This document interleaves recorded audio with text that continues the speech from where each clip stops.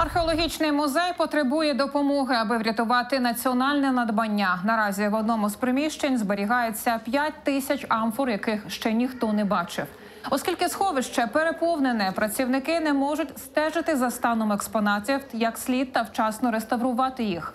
Саме тому у музеї стали збирати кошти на додаткові стелажі за допомогою проєкту Поличка історії. Там є старі стележі, е, але амфори вже немає куди їх там класти, тому їх е, поміщаємо е, між проходами.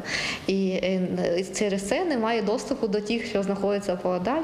Ну і це взагалі так не повинно бути.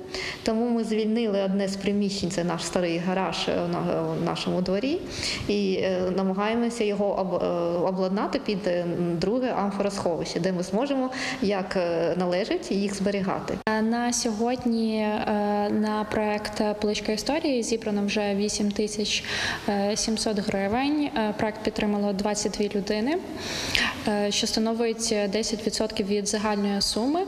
Е, Загальний бюджет е, цього проекту становить 82 тисячі 500 гривень.